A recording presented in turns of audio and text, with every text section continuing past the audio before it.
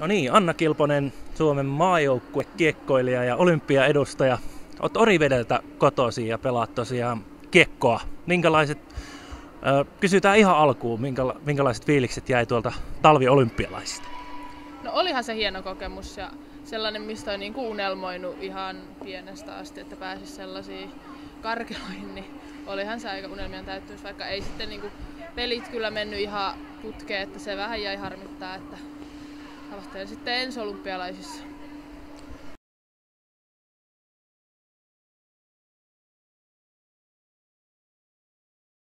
Joo, olihan se, kun oli niin kuin, koko joukkue tehnyt niin kovasti töitä sen eteen ja silleen, että no, yksi peli ratkaisee siinäkin kaiken, niin oli se. Ei sitä edes oikein pysty sanoin kuvailemaan, miltä se tuntui.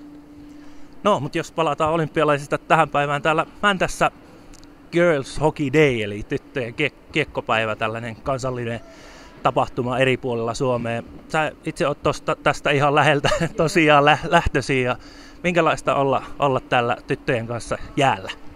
No musta on aina kiva tulla näihin tapahtumiin, kun se on niinku oikeasti tuollaista jääkiekon tai riemuu parhaimmillaan, kun noi pienet lapset ja tulee tänne. Ja varsinkin kun on paljon tyttöjä kokeilemassa, niin on se mukavaa. No minkä ikäisestä itse oot kiekossa ollut mukana? Ja miten kiinnostuit aikanaan jääkiekosta? Joo, no siis mä, eka mä harrastin sellaista taitoluistelua ihan niinku pienenä. Sitten no meidän iskä pelasi jääkiekkoa, niin aika paljon pyörin siellä hallilla. Ja sitten oli vaan halunnut mennä kokeilemaan jääkiekkoakin, niin se sitten lähti joskus, mä oon ollut ehkä neljän viiden vanha, että aika pienestä asti on pelannut. No nyt se taitaa olla aika vakavasti otettava harrastus tämä kiekko, että minkälaiset näkymät Suomessa on jääkiekkoilijana naisena pelata? No eihän se, ei sitä voi niin kuin ammatikseen tehdä, että kyllä kaikki niin kuin opiskelee tai käy töissä, suurin osa ainakin, että ellei nyt saa jotain tosi hyviä sponsoreita, mutta se on aika harvinaista, niin on se vähän hankalaa, että sitten jos oikeasti haluaa niin kuin ammatikseen tai näin, niin pitää kyllä lähteä sitten muualle. No, Noora Räty yrittää siellä nyt sitten avata ovia ja tietysti Hailey Wickenheiser kävi Kirkkonummen salamoissa aikanaan Mestistä pelaamassa. Nooralla on vielä se debyytti Mestiksessä tekemättä, mutta varmasti tulee eteen. Minkälaista on seurata Nooran otteita? Onhan se hienoa, että sekin niin kuin Noora paljon töitä tehnyt, niin ansaitsee kyllä, että pääsee sitten näyttämään. Ja toivottavasti saa näytön paikkoja paljon.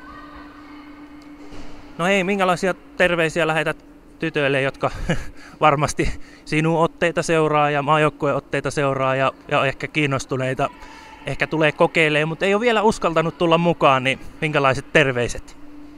Ihan rohkeasti vaan kaikki mukaan. Tämä on niin, niin kiva laji, vauhtia riittää ja tosi monipuolista. Ja voi vaikka mennä pelailemaan poikien kanssa, ei siinä ole mitään. Se onnistuu ihan hyvin. Ja poikiakin saa taklata sitten siellä. Kyllä vaan. Hei, päästetään sut vielä jutteleen tonne tyttöjen kanssa. Siellä varmasti moni odottaa vielä jut- juttuseuraa ja kuvia otetaan sun muuta. Tsemppiä sulle tota jatkoa ja tosi mukavaa että, ja hienoa, että pääsit olemaan täällä mukana. Kiitos ja oli kiva kyllä olla. Kiitos.